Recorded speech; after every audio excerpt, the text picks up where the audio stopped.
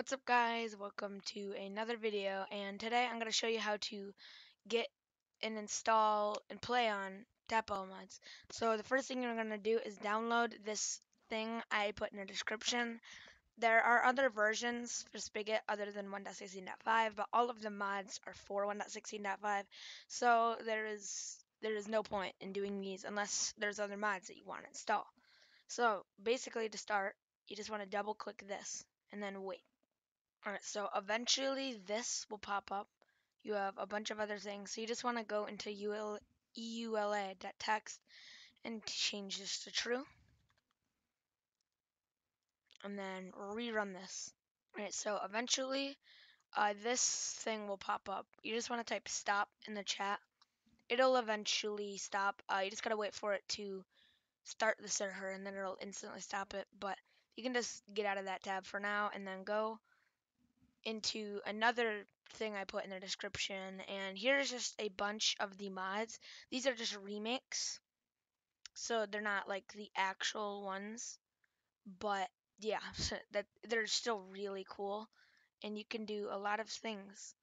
Uh, so I'm going to do which one do I want to do?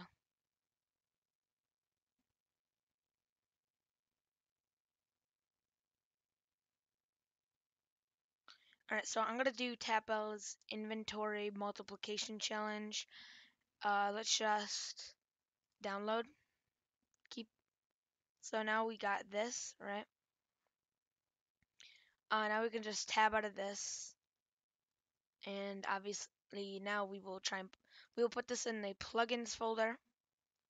So just click, the, go into the plugins folder. Um, I don't know if you'll have this plugin matrix metrics. I don't know what it does, but it doesn't matter.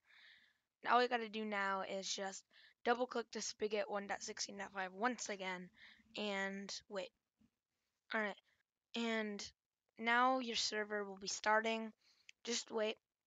Scroll all the way down so it follows and then just, just wait for it to say done. It says done right here. So now you want to open Minecraft, go into direct connection and then go into localhost. Some of these you have to run a start command. So for this one, you can just go back on the website.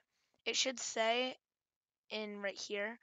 So I'm just going to, oh wait, uh, so for, if you do the TAPL mods, there is Paul that, or Paul GG's mods too. Um, so if you do the TAPL ones, usually there's a command you have to run. So you just have to op yourself and then run them. And then now you just type this and it has begun. Take damage. Boom. First planks multiplied. Boom. Multiplied again. So yeah, that's literally what, that's it. It's really easy to do and I hope this helped you. See you in the next video.